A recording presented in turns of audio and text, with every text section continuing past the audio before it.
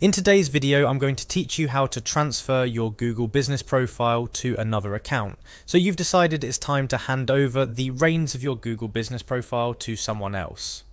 Maybe you're passing it to a colleague or you're selling your business and the new owner needs to take control. Whatever your reasons, transferring ownership is a crucial step to ensure the continued success and update of your business information on Google. First things first, you'll want to navigate to the Google Business Profile Manager.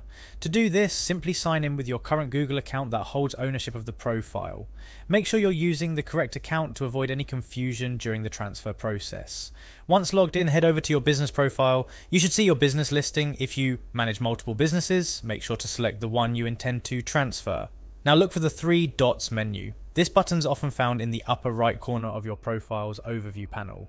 This will bring up a series of options related to your business profile's settings and configurations. From the options presented, click on Business Profile Settings. This is where you can manage the nitty gritty details of your profile, including roles and permissions for those who have access to it. Next, navigate to the People and Access area. This section allows you to manage who has access to your business profile and what level of access they possess. It's where the magic happens in terms of transferring ownership. In the People and Access section, you'll see a list of individuals who currently have some form of access to your business profile. Find the profile of the person you want to designate as the new owner. If they're not listed, you'll need to add them by inviting them via their email address. Once you locate the desired profile, click on the Edit option under the Access column. This is where you can modify the level of access for that individual. From the options available, choose Primary Owner.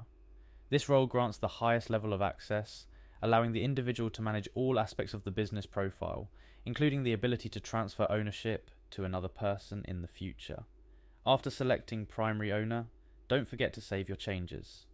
Congratulations, you've just assigned a new owner to your Google Business profile Transferring your Google Business profile to another account is a significant step, but following these detailed instructions makes it a straightforward process. Remember, the new owner will now have full control over the business profile, so make sure it's someone you trust with this responsibility. And that wraps up our guide on how to um, transfer your Google Business profile to another account. Thank you for watching, and don't forget to hit the subscribe button for more helpful tutorials.